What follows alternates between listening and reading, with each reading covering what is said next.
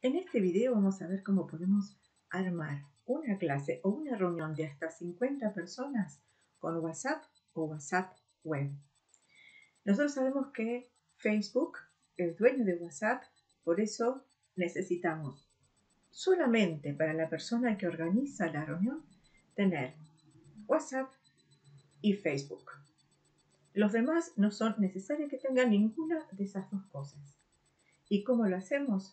Primero nos tenemos que conectar con una persona. Vamos a ir a este icono que es en el cual nosotros hacemos algún documento, algún archivo adjunto. Y vamos a ir a la última opción que es sala. Nos da esta imagen donde dice presentamos las salas de Messenger. Vamos a ir a Messenger y vamos a continuar con nuestro nombre o también podemos cambiar de cuenta si así lo queremos.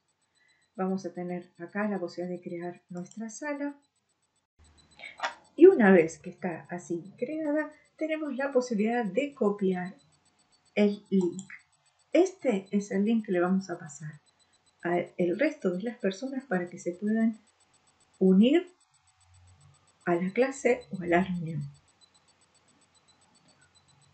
Tenemos la posibilidad de compartir pantalla, de ver a los participantes que están en la llamada, podemos activar, desactivar el video y el micrófono y obviamente el rojo es para poder cortar con la reunión. Así que es muy sencillo. Una vez que tenemos este link, vamos a ver cómo se sigue. Vamos a copiarle a la persona el link y esta persona con el link va a poder acceder entonces a nuestra sala. Si yo quiero, por ejemplo, vamos a empezar con una ventana de incógnito y vamos a poner aquí el link que nos han pasado. Vamos a ver que tenemos la posibilidad de entrar a esta sala.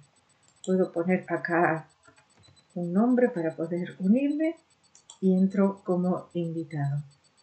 De esta forma, así se van uniendo hasta 50 personas. Obviamente que tienen que permitir el uso del micrófono y de la cámara. Y así vamos a tener esta posibilidad de invitar y tener una reunión hasta 50 personas. En las últimas pruebas que hice ha funcionado bastante bien, así que para recomendar. En la versión del celular tenemos que ir a elegir un contacto. En adjuntar seleccionamos sala, ir a Messenger después y ya tenemos la sala. En actividad de la sala podemos encontrar ¿Qué características le queremos dar a nuestra sala? Yo voy a elegir encuentro. Con esto ya puedo crear la sala. Y tengo entonces para poder enviar el link.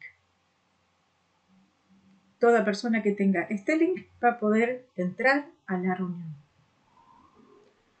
Si tengo Messenger, cuando lo recibo puedo entrar ahí y si no a través de Chrome.